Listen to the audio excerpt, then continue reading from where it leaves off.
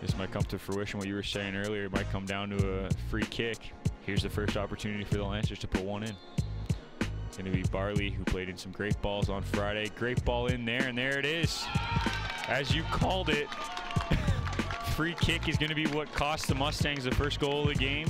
And I think that was straight in, don't you? I think so too. I don't think I got a touch on it. So that'll but, be uh, Barley's. Great service. It had pace. It had curve, and uh, everything you ask from a, a free kick taker. Ends up on Vandenhoven's foot all the way back. That ball's played over the top. There it is. There it is. Oh wow! Amanda Boyle with a header from 12 yards out beats Lawrence on the bounce. That's got to be the last play of the game. Jenna White is stepping up for the Mustangs. And she finishes that one coolly. And she finishes it coolly in the corner. Megan Girardi standing in the net. Guessed right. Oh. Steps up and puts it to the far side. I just got to put this in the corner, and Megan Girardi's not going to get to it.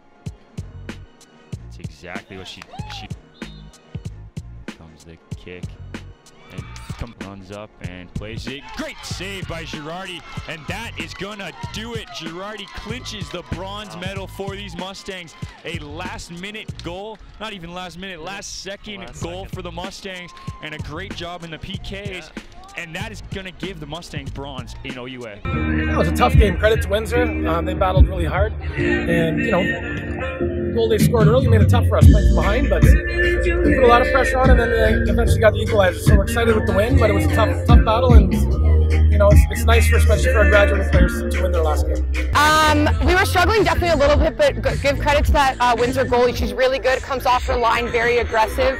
Never gave up. And I mean, especially after 17 corners, eventually you have to get one in. Statistically speaking, one has to go in.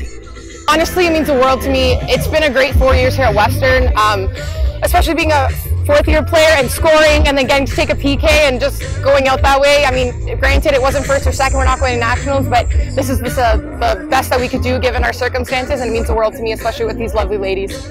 I mean, at the end of the day, we're third out of 19 teams, which is uh, which is a pretty good way to finish the season. Obviously, we would like to be in the gold medal game, but that's what, what next year's for.